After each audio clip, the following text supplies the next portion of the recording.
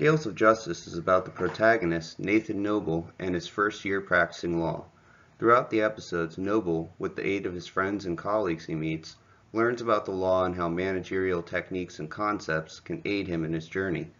While there are managers that wish to help him, there are others who will not. At the series finale, it is revealed that Gilt has been stealing evidence used throughout the series, which leaves Noble in an ethical dilemma when dealing with his mentor and role model. Noble decides to use the law and managerial techniques he's learned in each episode to finally deliver justice to Gilt.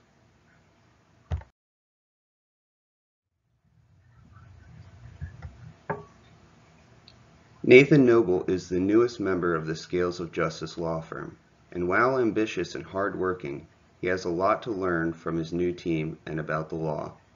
Noble is generally an outgoing person but gets very nervous in new and tense situations. This leads to many mistakes being made. But with strong management and managerial tactics to aid him, Noble aims to always do what's right and uphold the law to the highest regards during his journey. Stacy Starks is the head of record keeping for the firm and prides herself on order, preciseness, and punctuality.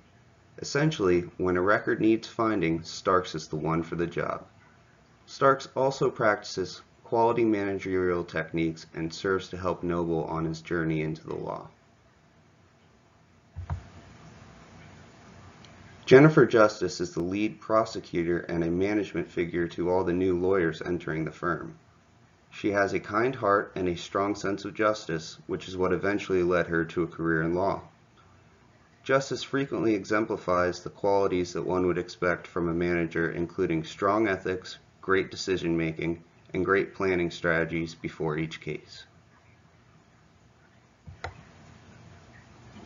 Wolf is a no-name detective looking to make it famous by assisting in high-end cases. The firm that employs him the most is the Scales of Justice law firm. Specifically, his services are used by Gilt the most. While good-natured on the outside, he is an enemy of the truth and serves to dismantle any positive management at scales of justice. Gerwin Gilt is the leader and founder of the Scales of Justice law firm. Gerwin holds an undefeated record, winning all 399 cases he's prosecuted.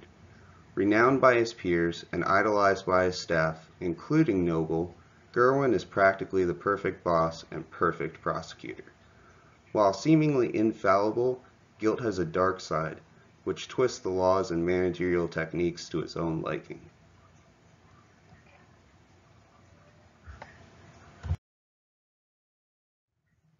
Episode 1, A Sudden Sentence, shows how green Noble is when he forgets a crucial piece of evidence for his first trial. Noble panics and has essentially given up. Jennifer, seeking to solve this problem, steps into the role of effective leader and helps Noble win his first case. This episode demonstrates the steps needed in the rational decision-making model. Jennifer uses this method of management to walk Noble through the seven steps needed to make the most rational decision to achieve the best possible results.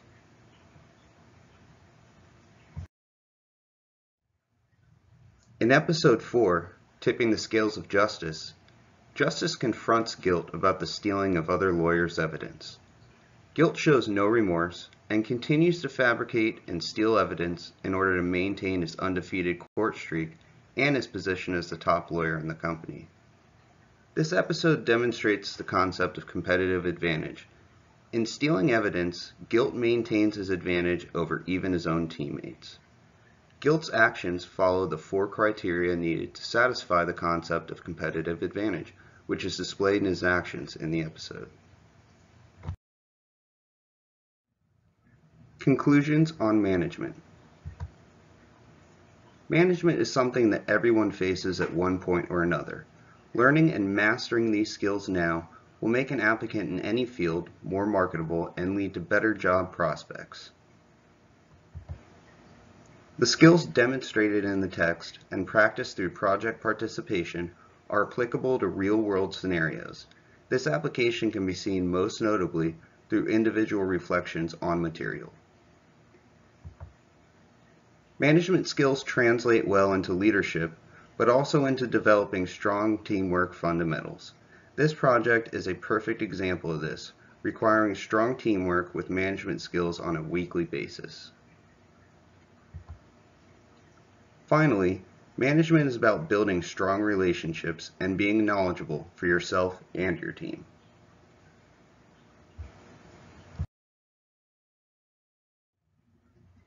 Recommendations for future students.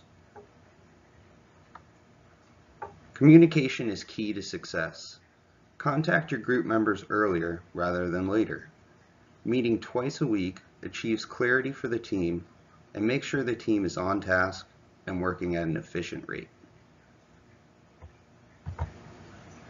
Plan for future assignments. Those who fail to plan, plan to fail. Find and utilize your tools early. For example, this group had a conference call line set up, a Google Docs document set up for collaboration on one document, and Vyond for animation of episodes.